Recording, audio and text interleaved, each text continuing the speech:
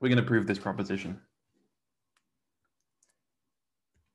And usually I do a proof, and then if it's a long proof, I give a bit of a comment on the proof, and that comment usually takes the form, hmm, yes, I like this proof. This is a good proof. I don't like this proof. I'm going to say it right up front. I don't like this proof. But we have to do it. All right. This isn't an existence proof, by the way. It's stated as an existence thing, but actually I'm going to say what the measure is from the beginning. We're going to define the measure of A to be the limit as k goes to infinity of the integral over a of fk dp. The whole problem is, does the limit exist?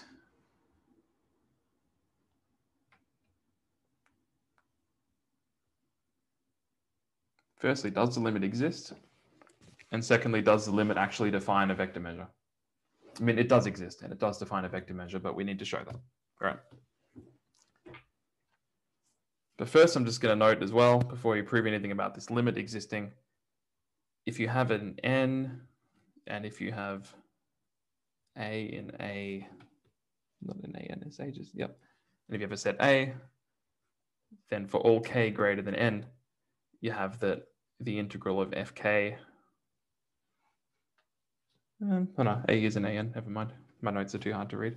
If you have a set in the sigma algebra an, and you have one of the elements of the martingale, fk, for k greater than or equal to n, then by properties of conditional expectations, this is the same as the integral of fn.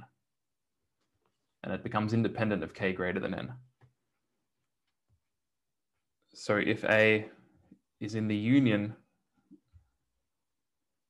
of these sigma algebras, this limit is stationary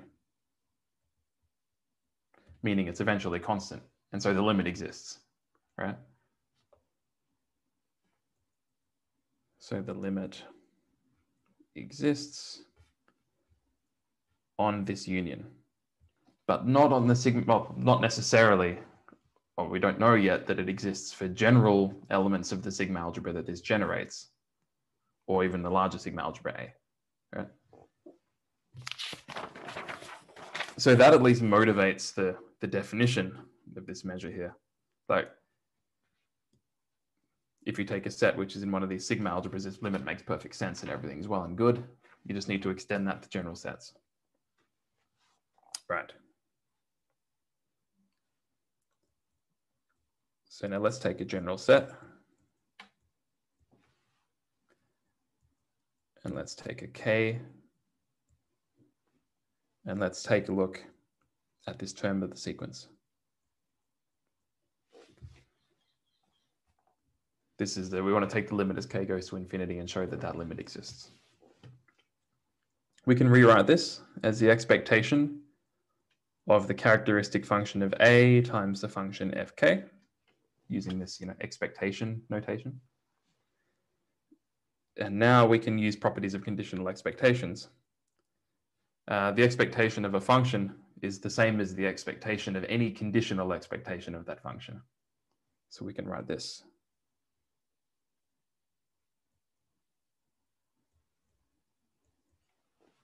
Then this is true. This comes from the, the definition of conditional expectations, basically. The expectation is the integral over A, and A is in the sigma algebra AK, and we use the definition of conditional expectations to prove this. And now we use this property on the inside here, using that fk is ak measurable. And we're taking the conditional expectation with respect to ak. We can remove that function from the conditional expectation. It has no effect. So we can take the expectation of the conditional expectation of the characteristic function of a times the function fk. This is all just rewriting the thing we have here. And we're going to use this expression here. Okay, to show that the limit as k goes to infinity exists.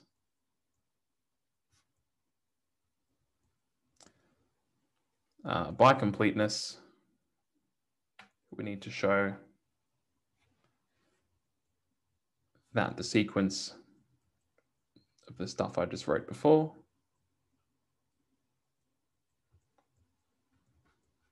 Over k and n, I need to show the sequence is Cauchy because that's enough to guarantee completeness.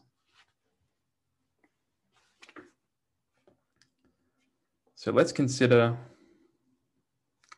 for all k and l with k less than l, let's consider the difference between two terms. We want to show that that difference is small to get the Cauchy property. Let's look. And where do we want to show this is Cauchy? We want to show that this, hang on, let me, what is it? Yep, in X. Okay. Let's look at the difference between two of these terms and let's take the first expectation out by linearity and write it like this.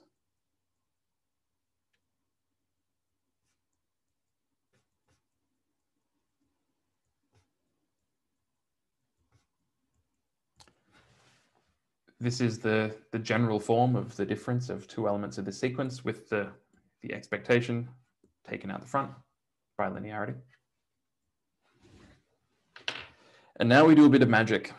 We mess with conditional, conditional expectations until this is in a nicer form. So first we, what do we do here? Going bum, okay, we start here.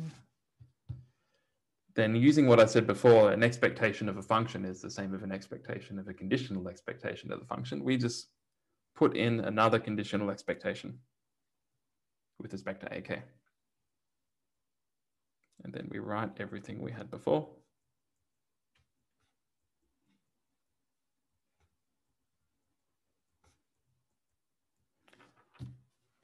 Okay, we can do that for free. Then what we'll do is we will, how do I want to write this in my notes? Let's put that conditional expectation on the inside here.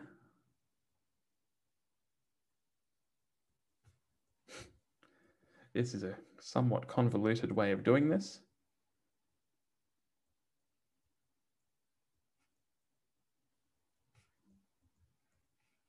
Too many brackets.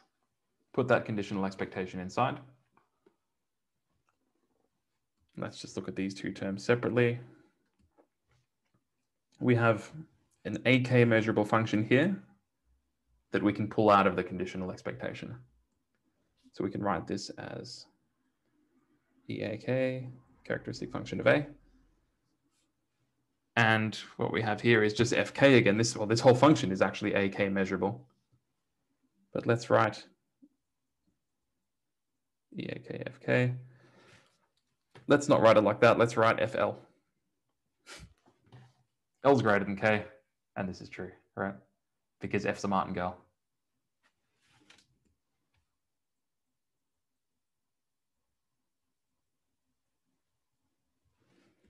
And on this other side here, let's just keep, do I want to keep that as is? Yeah, I'll keep that as is. And we write this as the expectation Uh, well, hang on, what have I done here? I'm confusing myself. Sorry for sorry about that. Let's write.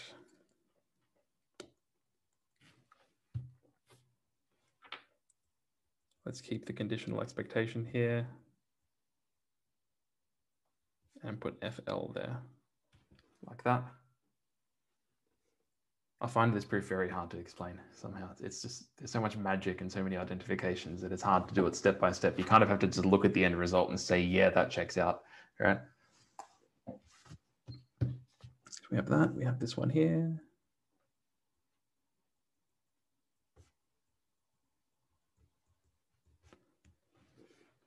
And now we have an FL on both of these terms. So we have this FL here in this FL. Before we had an FK and an FL, and that's that was an issue. We've made it now in terms of two FLs. So what do we do now? We say, okay, we have a conditional expectation, two of these. We can pull that out and it doesn't matter anymore. We can get rid of it. We can remove it.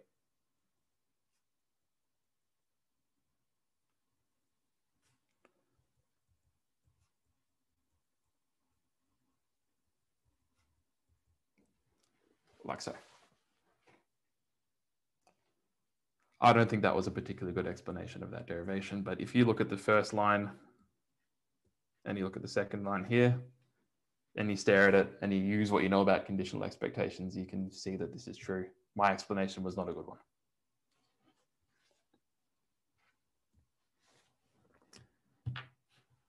So let's now write this as the expectation of the difference between these two conditional expectations times FL. And this function here, this scalar valued function, we're going to call this phi KL. So that this is just the expectation of phi KL times FL.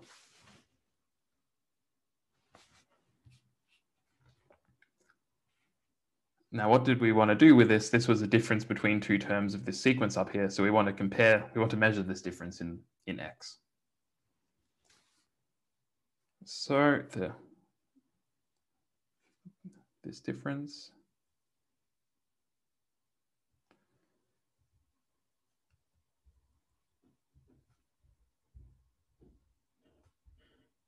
in X is equal to the norm of the expectation of phi KL FL in X. And by putting the norm on the inside of the expectation, the expectation is just an integral. This is less than or equal to the L1 norm of the function phi KL FL. That's our first annoying technical reduction. Let's do another annoying technical reduction. Now, for all t greater than zero, let's introduce an auxiliary variable, t, and let's estimate this norm, which we want to make small. Small as k and l both approach infinity independently with l greater than k.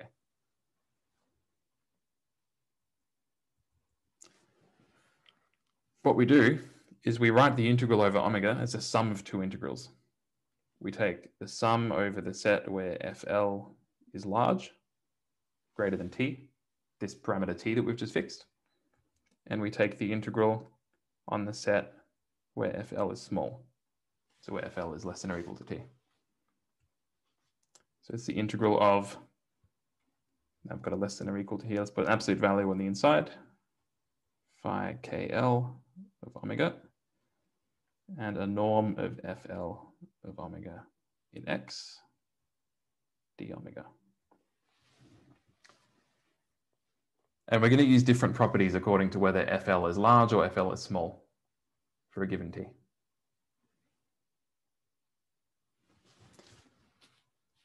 So let's write this as being less than or equal to, ah, before I write that, I'll just note phi is a difference. What is phi? Phi is defined up here, phi KL. It's a difference of conditional expectations of characteristic functions. Now the characteristic functions have absolute value bounded by one. Conditional expectations bound, it's non-expansive on L infinity. So this is less than or equal to two for every omega. Difference of things that are less than or equal to one in absolute value, right? So let's say this is less than or equal to 2 times the integral where FL is large, integral of FL. So in this first integral, we just take out this trivial bound for phi KL and we leave in F, which we don't have any control over on this set. All we know is it is large. That's not very useful yet. And for the second term, we take out a t because FL is less than or equal to t on this set. And we keep the integral, or we said this is bounded by the expectation of the absolute value of phi KL, like that.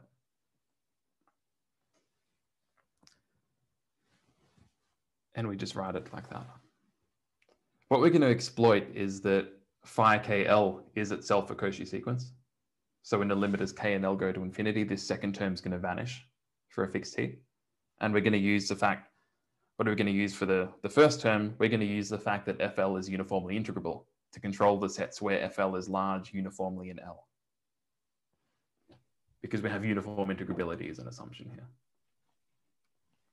So if we had a stronger assumption, like you want to bound this product, the norm of this product, you'd normally need something like Holder's inequality, right? Or something else. Yeah. But here, we, you know, we don't have, it's not that strong. Like we, we want to use, you need something like uniform integrability if you want to control. Exactly. L1 boundedness alone isn't enough to control this first term. Right. Like this involved, we know that FL can't be large too often because FL is in L1, but we don't, we need something that's uniform in L. And this turns out to exactly be uniform integrability in an equivalent form. Yeah. Thanks. It's all right. So let's write out the lim sup as k and l go to infinity, k less than l. You want this to go to zero for the sequence to be Cauchy, right?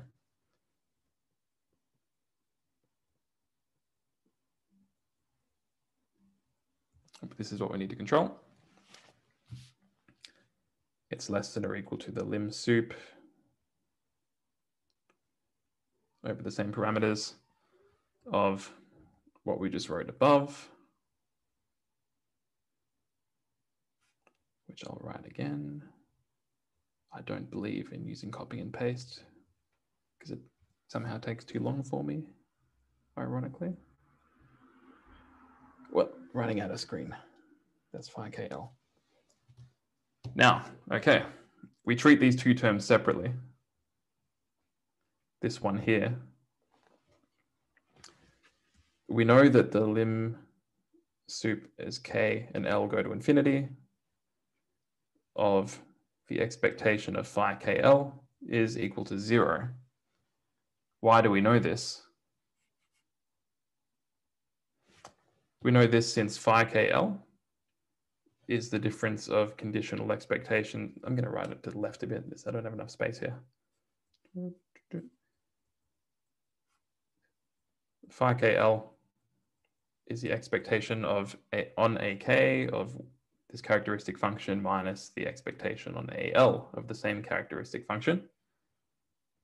And we know that this is the Doob martingale associated with the characteristic function of A. We know that this converges to that characteristic function in L1 by the scalar valued martingale theory that we've already established.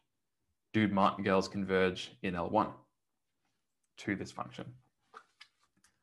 So it follows that this sequence of differences has to go to zero. This lim sup is zero, yeah? And the t out the front doesn't do anything because we've fixed t. So let me just write here. So for all t greater than zero, we're not going to vary t yet. So this second term here vanishes. So we can write the lim sup as being the lim sup is k and l go to infinity, k less than l. Let's put a 2 out the front. And let's put the integral on the inside here.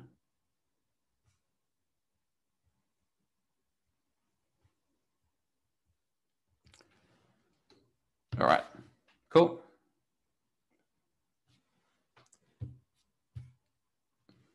And we have this for every t greater than zero and t appears here. Therefore, this lim sup on the left-hand side, k less than L, blah, blah, blah, is less than or equal to 2 times the limit as t goes to 0. No, t goes to infinity. Why have written t goes to 0 there? 2 times limit as t goes to infinity of the, ah, one other thing I need to note here, there's no k dependence here. k's vanished, right? So it's just a lim sup as L goes to infinity. And this is an increasing sequence as t as L approaches infinity. So this is just a limit as L approaches infinity. Right? So limit as t goes to infinity. Well, no, not limit, let's just write a sup. Less than or equal to supremum L in N. Let's write it like that. So two limit as t goes to infinity, supremum over L in N of this integral here.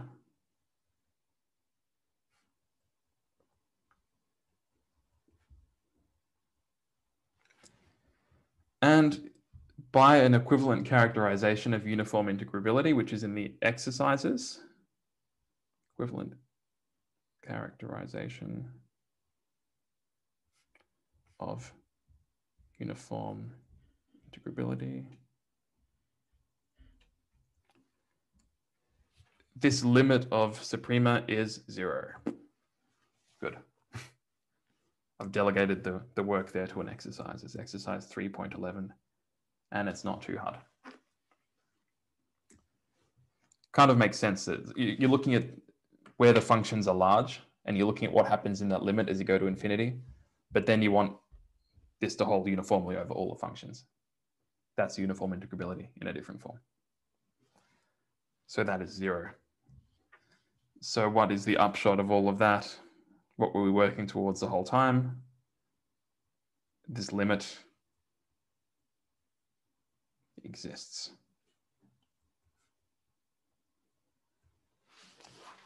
And this is for all sets A in the sigma algebra. And this was our definition of mu of A. Good. I find that to be a confusing proof personally. But the proof's not done th- but this aspect of the proof I find to be confusing. Does anybody have any clarifications for me? well, let me try. Just a very yeah. minor thing. If you go back to the beginning, there was this thing where you were particularly unhappy. uh, this bit. Yeah, it's higher up, higher up, higher up. Here, right there. So if you look, you have these two red checks here, right? This.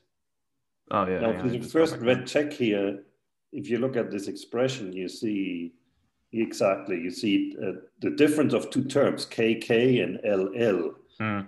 In fact, at this very moment, I had the instinct okay, you're going to add and subtract a mixed term with K and L, yeah. right? And then that mixed term is actually zero.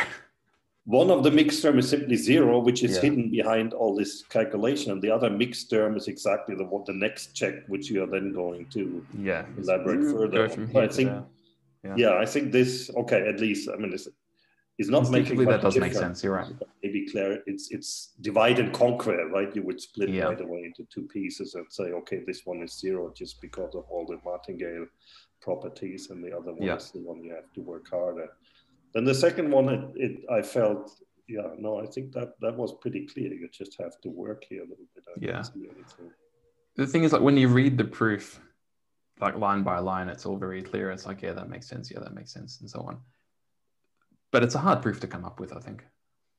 Yeah, you're not alone. Like it's annoying for probabilists as well, so don't worry. Okay, good. yeah, yeah. No, but you have you have to bring in some subtle properties. You have to use yeah. that you are uniformly integrable. Yeah, you know? getting yourself to this point here is um yeah. I guess if you're like if you're developing this theory and you've thought about all these things well enough, this would be a natural enough thing to do and then you put well, it in a textbook and then people yeah. read it. No, at some point you have to understand this point that the uniform mm. integrability is important. And, and yeah. then you just have to bring it in somehow, right? Yeah, and it's really not a property that I've used in my own work. But I've only had to deal with it when writing these notes and, and you know setting up the theory from from scratch like this. Because okay, as a research note, I never real I never actually use the Radon-Nikodym property as is. I use UMD and I use that UMD implies the Radon-Nikodym property through reflexivity. And I only use that so that I can talk about the duals of Bochner spaces being what they should be. That's the the application for me, right? Yeah. But of course you can work on the Radon-Nikodym property in itself. And you know, I should get back to the proof because we're not done. Got distracted. This limit exists so we can define mu of A like this but we need to show that it's actually a vector measure and that it has the properties we want. So we're not done. We need to show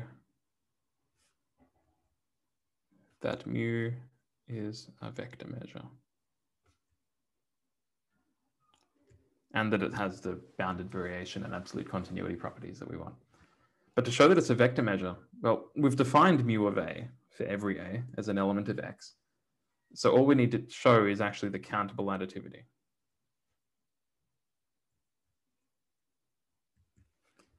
Finite additivity, if you just take finite unions and finite sums, that comes clearly enough. That comes from the definition and linearity of the integrals and so on. Finite additivity is obvious here.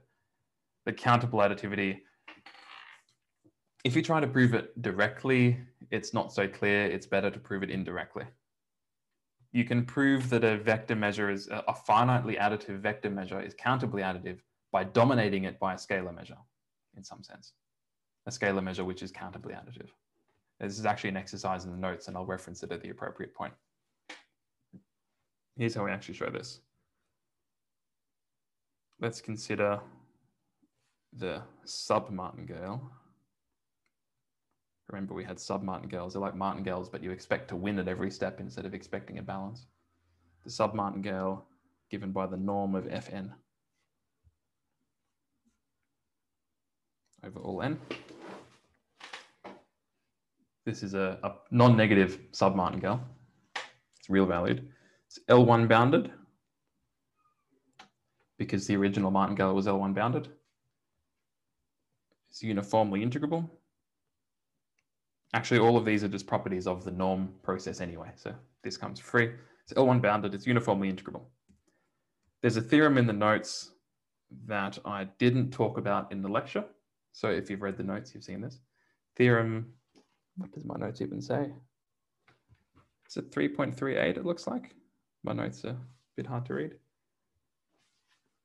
Whatever, whatever the theorem number is, it implies that this martingale, let's write F bullet X, has an L1 limit, which is the scalar G in L1. So we have the corresponding result for martingales, and to prove it for sub-martingales is a fairly straightforward application of the result for martingales. There's what's called the Doob decomposition that says a sub-martingale is actually just a martingale plus a positive drift term. And you use monotone convergence to handle the positive drift term, and you use the result you already know for the martingale part. I didn't do that proof in the class just to save time. So this process is an L1 limit, so for all A, we know that the measure of A, its norm is less than, what am I writing here? By definition, this norm is less than or equal to the limit as n goes to infinity of the integral of the norm of fn. Just by taking the definition of mu as a limit and putting norms on the inside. And this limit is the integral of g, this scalar valued limit of the submartingale coming from the norm. You can think of this as saying that mu is dominated by the L1 function g. And L1 functions give rise to countably additive measures. And when you have this sort of domination, you get the corresponding countable additivity of the vector measure. That's in an exercise. That's exercise 4.4. That will tell you that mu is countably additive. And therefore a vector measure. It will also tell you that mu has bounded variation and that that variation is actually bounded by the variation of the measure g times the probability measure. That's what this domination above gives you, this property here. And we know that the variation norm, well, this variation is actually the L1 norm of G. Okay, well, I only proved before that that was less than or equal to, but there is equality here. And from the scalar martingale theory, we know that this L1 norm of G is the supremum over N of the L1 norms of the original martingale. And that was one of the things we wanted to show as well. The variation of a vector measure is controlled by the L1 norm of the martingale. And the final thing that it tells you is the absolute continuity property that your vector measure is absolutely continuous with respect to the measure induced by G. But by construction, that's absolutely continuous with respect to the probability measure. And absolute continuity is transitive. So that tells you that your measure is absolutely continuous with respect to P. And that completes the proof. Yeah, I definitely couldn't have done that before the break.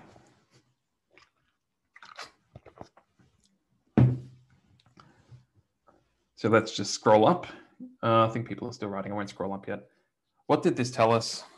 What did we want to show? We wanted to show that there is a measure mu which has these properties here and which also has the property that mu of a is equal to the integral over a of fn for all a in an. Right. And we just defined it such that that's true. The whole problem is just making sure that that's actually defined on all sets, not just sets in AN. Yeah. Okay, let's use that to prove something about Banach spaces. A nice theorem. Uh, if X has the Radon-Nikodym property with respect to a probability space omega AP, then X has the one martingale convergence property with respect to the same space. And in particular, if it has it with respect to all spaces, then you get the one martingale convergence property globally.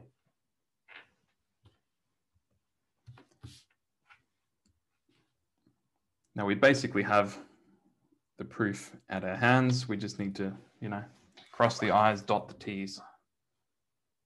Um, I didn't mean to say that backwards, but I did. Let's take F to be an L1 bounded, uniformly integrable, X-valued martingale.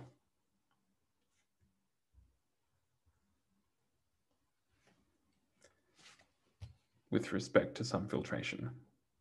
Of course, this is on the probability space that we're considering. I'm not going to write that. Then by the previous proposition, there exists an x-valued vector measure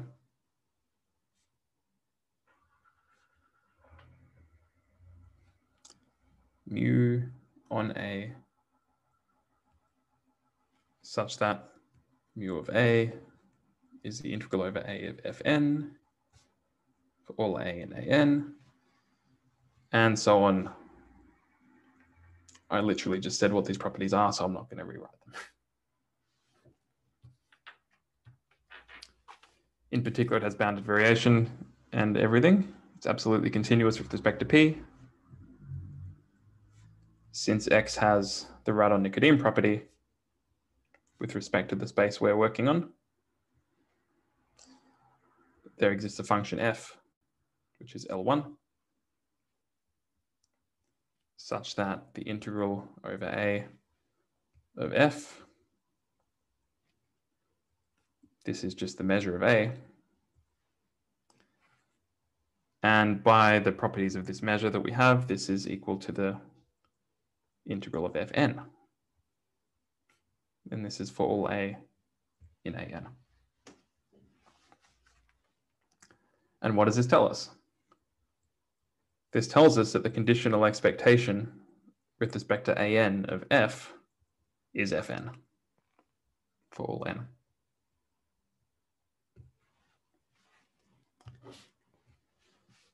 And by the convergence theorem that we know for these Doob martingales, we know that Fn converges to, well, not necessarily to F, but to the conditional expectation on the limiting sigma algebra of F almost everywhere. And what does that tell us? That tells us that the martingale F has almost everywhere limits, well, has an almost everywhere limit. And that is what it means for X to have the one martingale convergence property. at least with respect to the probability space that we we're working on. Done. So really the hard work in this theorem is in, you know, taking this as like a definition of the vector measure you'd like to construct and making sure it actually extends to a vector measure on the whole sigma algebra. Then you can just invoke Radon-Nikodym and you pull out a function whose conditional expectations has to give you the martingale. As I said before, this is a, a classical proof of using Radon-Nikodym property to imply something else. You construct a measure with the right properties, extract a function from that measure, and you're good. Use that function to, to prove the property you want to prove.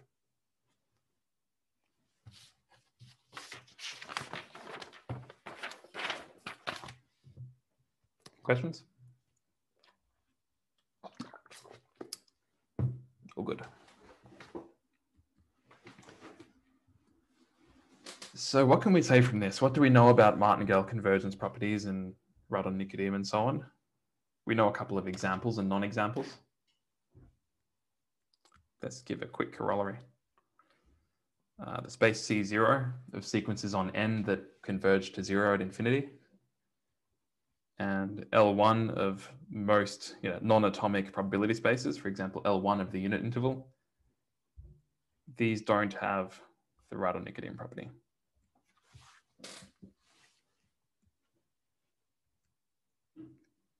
We don't really have much of a proof. We know that they don't have the infinity martingale convergence property. We proved that by explicitly constructing martingales okay, we didn't do it explicitly in L1 of this probability space, but we did it in an isomorphic L1 space where the probability space was a product of two point spaces. So these don't have the infinity martingale convergence property. Therefore, they don't have the one martingale convergence property because that's stronger, right? And Radon-Nikodym implies that. So they don't have Radon-Nikodym either. That's all nothing really to show there. So just to summarize, we currently have the implications Radon-Nikodym implies one martingale convergence property, which implies P martingale convergence property for P greater than one, which implies the infinity martingale convergence property. And we're going to add a few more properties to this list and create a loop. So before I go on to the next property, I'm going to address a comment that Marco made to me in the chat. It's about this unconditionality in the definition of vector measures. So let's just quickly note, if mu is a vector measure, then you have the countable additivity, which says that mu of a countable union of disjoint sets is equal to the sum of these measures.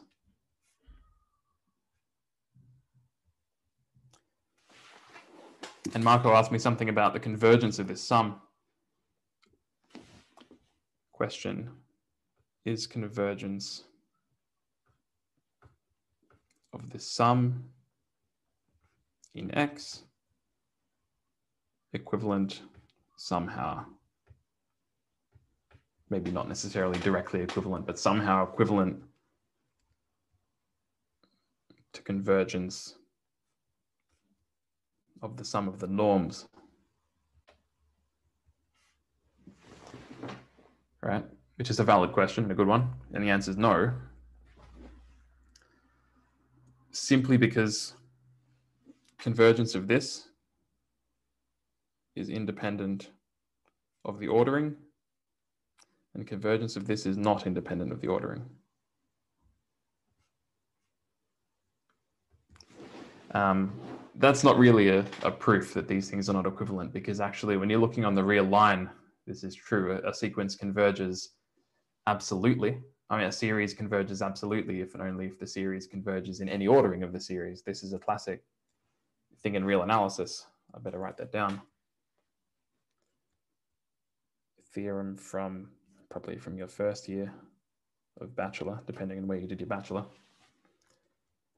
A series of real numbers, uh, the series of their absolute values is finite if and only if the series an converges unconditionally. I've stated that right, yeah? You don't need any more assumptions for that. This theorem fails in general for Banach spaces. Not true if R is replaced by X. And unfortunately, I can't give you a counterexample off the top of my head. It's a little bit more complicated. I'll have to look it up and get back to you on that. But you can have a sequence xn in a Banach space X such that, uh, which order is it? Which one doesn't imply the other one? Such that uh, I think it goes like this. And I, yeah, I'll get back to you on this properly because I don't know exactly which one fails while the other one is true. I think it is that it can be that can, this, maybe you know. Yeah. I think one can take something like 1 over n en in L infinity, little L infinity. Yeah. And uh, then the, the norms are just 1 over n, which diverges. That's the one. That's, you know your counter examples, yeah. example, you take 1 over n basis element en in little l infinity. Then what happens? Let's call this xn. Then the norm of xn in L infinity is the sum of 1 on n, which diverges.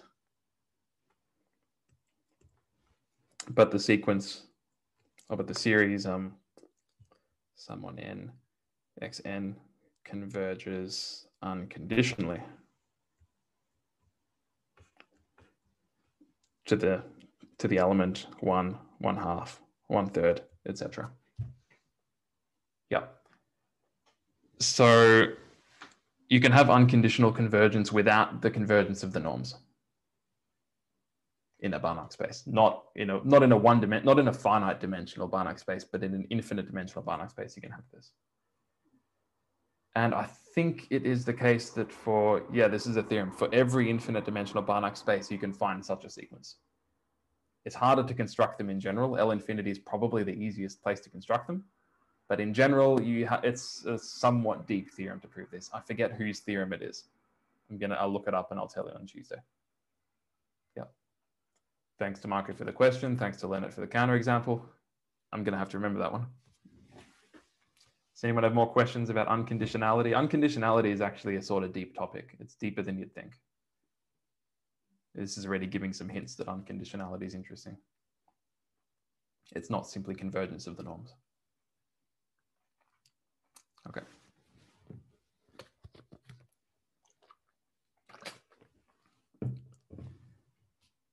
You still have 10 minutes? Just, just to clarify something, just oh, yeah. so we're all on the same page. So um, you're saying that in a in a Banach uh, in a Banach space, when you're taking a limit of a partial sum sequence, yeah, you take the series, which is the limit, which is some element in X, and then you're yep. looking at convergence of the norms from the partial sum sequence to that yeah. limit in X, right? Yeah. And this is this is sort of like weaker, like the when you just look at the norms, like you're summing the norms and seeing if they converge, right? Because yeah, I'm going to write this down just to be really precise, just to make sure we are truly all on the same page to say that the series exists in X. Whoa, what happened to my page there? To say that this series exists in X means that the limit as n goes to infinity of these partial sums exists in X. And this is equivalent to saying that the limit as n goes to infinity of, uh, I'm going to write it this way, limit n m go to infinity, n less than m, sum from n equals n to m. So we look at these tails of the partial sums. This limit has to be zero, which is the same as saying the limit of the norm of this sum has to be zero. But the norm is outside the sum. yeah, That's important. Yeah. You can have cancellation effects using the infinite dimensionality of the Banach space that means that this sum is relatively small, but the sum of the norms is large, as you can see with this harmonic series example here. Sometimes awesome. your norms get big, but the vectors don't actually grow. Right. But you see that the norm of this vector, this harmonic series vector, this has norm one. Actually, when you add in the additional terms, it doesn't increase the norm at all. This is infinite dimensional geometry, right? It's a bit weird. And yeah, it, you might start to think, well, that's L infinity. L infinity does that. Every infinite, in, every infinite dimensional Banach space does that. Just it's not so clear. it seems to me this very example works in all LP except P equal one, where it might be hard to make this work just like this. Yeah, sure. Yeah. So L1, it's, it makes you think maybe L1's good somehow. but it's not. You can still do it in L1. Banach spaces are weird. Yeah. Okay, are we all on the same page now? Or at least sufficiently close to the same page? We're in the same notebook. Good. Now I have eight minutes. I'll do what I can in that eight minutes. So just to go back to this, this chain of properties implying other properties, I think in the remaining minutes I can add one more property to that, just very quickly.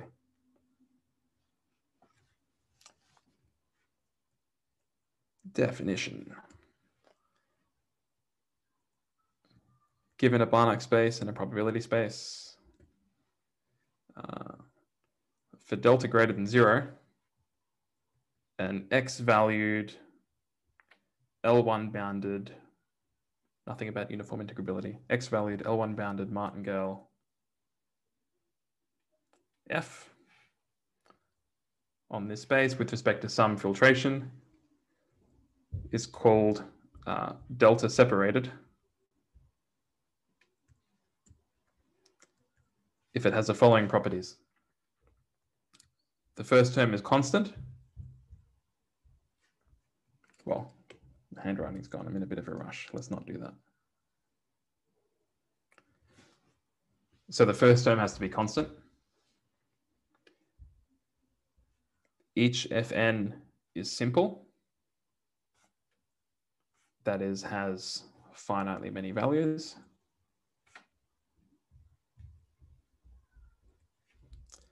And finally, for all n and for all omega in the probability space, the difference between adjacent terms of the martingale is greater than or equal to delta. So it's a martingale such that at each step you have to jump away by at least delta. And you've also got the finiteness and constant starting point property. They're, not so important. Uh, and the set of values S that the martingale takes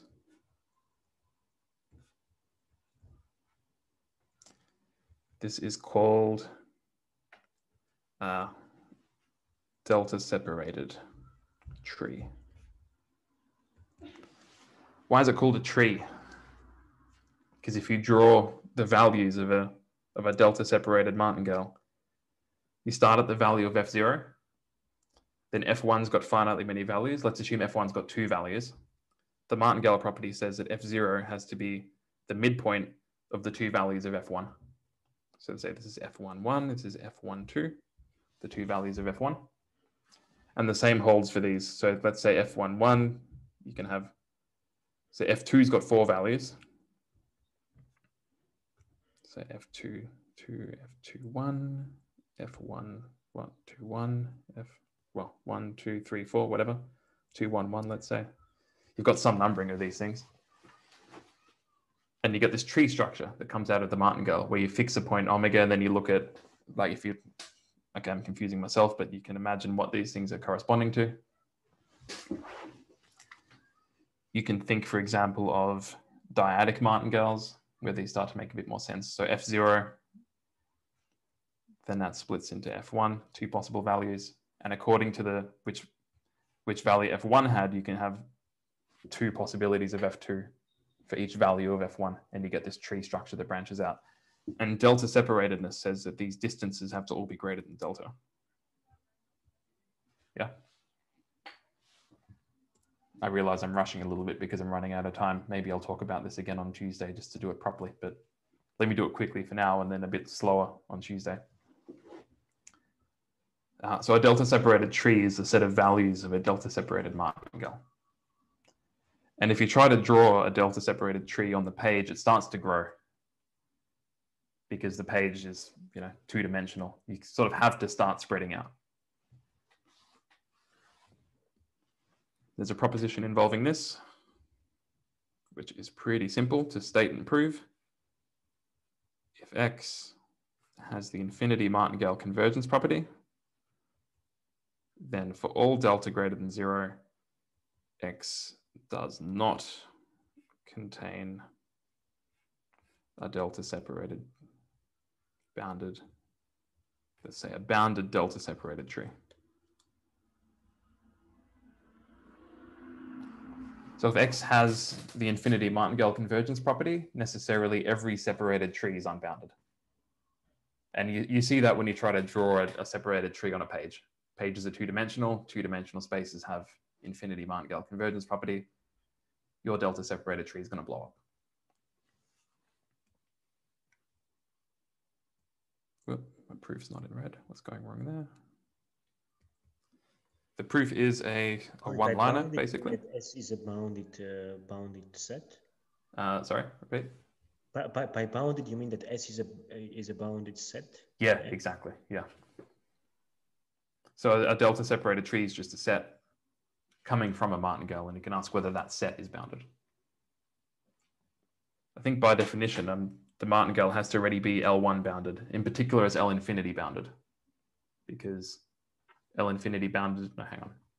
No, you can have an L1 bounded martingale. It's not L infinity bounded, but yeah. This will be more clear in the proof, I think. Uh, the proof is that bounded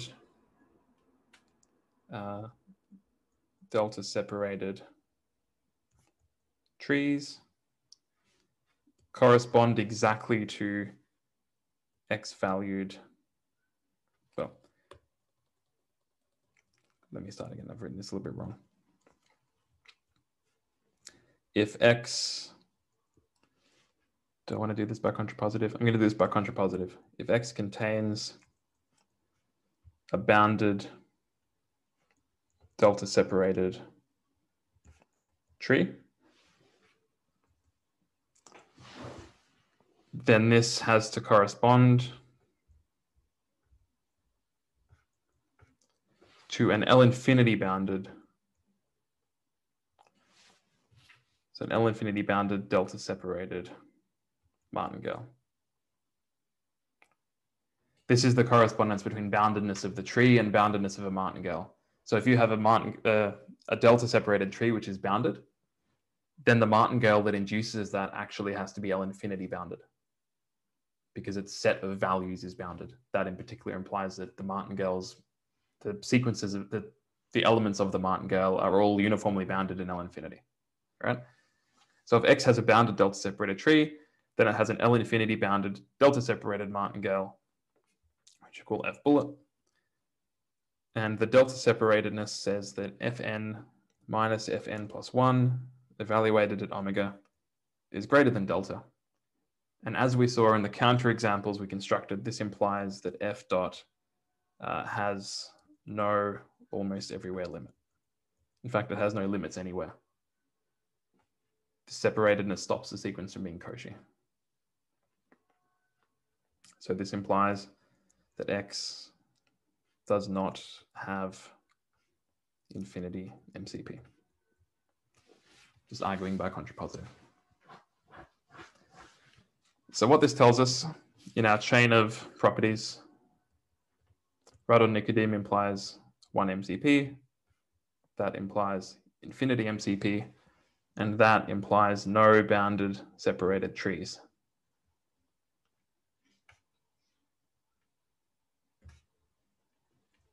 Okay, that's another geometric probabilistic property we can add to our, our chain. It's a pretty simple definition. It's not too difficult of a proof, but it's a very useful property to, to work with for the properties we're going to deal with next week, which is about dentability, whatever dentability is. And yeah, we've run out of time now. So that's the end of the lecture. Are there any questions? So this is all preparation for the converse, right? From infinity MCP to yep. Yeah. What we're going to show is no bounded separated trees implies every bounded set is dentable, which is a purely geometric property of the Banach space, makes no reference to martingales or anything, just a property that bounded sets have to have. And we will then show that that implies Radon-Nikodym. That's how the, the chain is going to work. So would you say which direction is the harder one, from RNP to MCP or the way back? The hardest one is quite possibly this one. Okay. Mm-hmm. Yeah. Um, both of these are hard. I wouldn't say either of these are easy, mm. but out of the two, I, I would consider this one probably be the hardest from memory. And comparing that with the previous properties as well, I think these are even a little bit harder than what we've proven already. Mm-hmm, mm-hmm, mm-hmm. Yeah. You can go directly from infinity MCP to Radon-Nikodym. You can do it. I just chose not to. In ah. fact, it's probably easier to do that directly. okay. How do you prove Radon-Nikodym property from infinity MCP? You take a measure, and from that measure, you build a martingale. And from that martingale, you take a limit and you show that that limits your Radon-Nikodym derivative. The proof is in Pisier's book, and I might have, I didn't include it as an exercise, but I think I pointed out where that proof is. I just don't think that proof's as interesting as this proof that we're going to do. Because we get more properties, and in particular, we get this one, which is really purely geometric. Okay. Like this one property about dentability doesn't make reference to anything outside the Banach space, whereas every other property we've dealt with has like martingales on some probability space or measures on some measurable space. This one is purely intrinsically in X. Well, one question I had, Alex, that yep. just sprung to mind. You, you mentioned in this uh, Diestel book, there's like yep. 30 equivalent property, yep. like, like equivalent characterization. Like, so, so what's the flavor, if you can give us a, an indication? I, I can't tell you because I don't know them. don't know. I just saw them when I was preparing the notes. It was okay. a topic of research for some time to, and I guess still is, to find equivalent characterizations of properties like radon-Nikodym property. And now radon-Nikodym property is very well understood. You've got your 30 or whatever equivalent characterizations of that. You've probably got more. That's enough. Yeah. It all, it's enough, yeah. yeah. They all have something to do with with L1 somehow. Like there's one equivalent property which is representability of all operators from L1 valued in X or something like that. It's yeah. Yeah, I think they talk about representability a bit in the, the in the text. In the yeah, so so is this more in Pisier's book, the uh, geometric, the dentability stuff? Yeah, this is from Pizier. And then okay. he even talks about a couple more properties that I don't go into. There's this Krein-Milman property, which is that every convex set is the convex hull of its extreme points. Yeah, yeah, yeah, Krein-Milman. That yeah, one, yeah. and that's equivalent to Radon-Nikodym property.